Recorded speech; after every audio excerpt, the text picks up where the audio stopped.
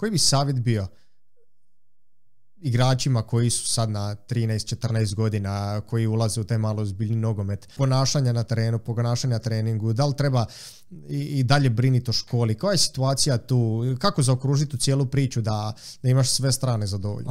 Evo tipa ja sam kad sebe pogledam kad sam imao 13-14 godina, ja sam jako pažnjao na školu, znači na školu ono, škola, tata mi je govorio kao nije samo nogomet i škola je tu, bitno je obrazovanje, što mi je stvarno drago što su me Mislim, nisu me tjerali, nego su me poticali da nije škola ono, kao pa šta me sad briga za školu, ono, proću sad dva i to, nego sam se baš pazio i baš sam radio školu, ali sam usto radio i dosta u nogometu.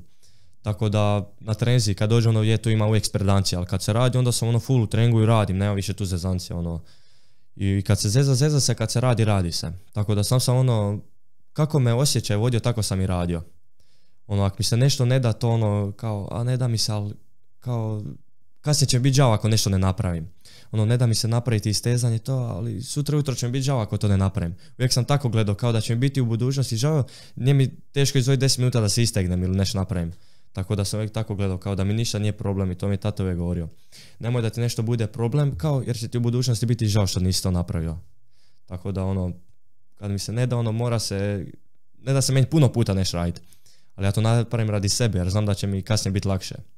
Tako da ne znam, ne znam koju bi im poruku dao, ono da, i kad im se ne da da rade, da jednostavno doće sve na svoje. Koji je najbolji savjet koji si dobio? Koji je ostao uz tebe? Ne znam, pa mislim da je, mislim nije to neki savjet, ali kao da pratim što mi kao osjećaj najbolje kaže, što mi instinkt kaže.